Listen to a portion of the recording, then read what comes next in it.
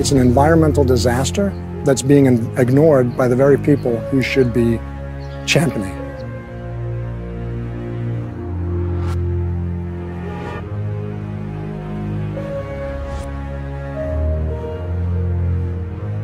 Let's look at the fundamental problem here. No one wants to talk about it. Because they're, they're membership organizations, you know, a lot of them. They're looking to maximize the number of people making contributions. The leading cause of environmental degradation is. Um, and we uh, need to address that as well. It's not up to the Department of Water Resources. Hard to actually target like one thing.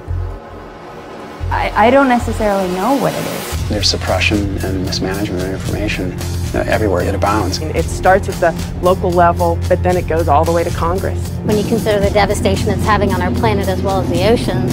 And we're in the middle of the largest mass extinction of species in 65 million years. And they can dictate the federal policies because they have so much political power.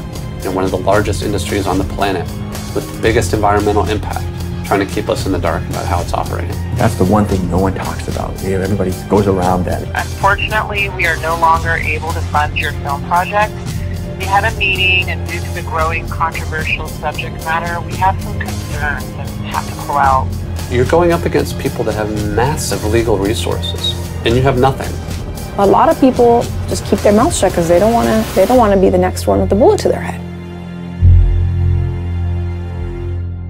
I don't know that I would want to comment on that.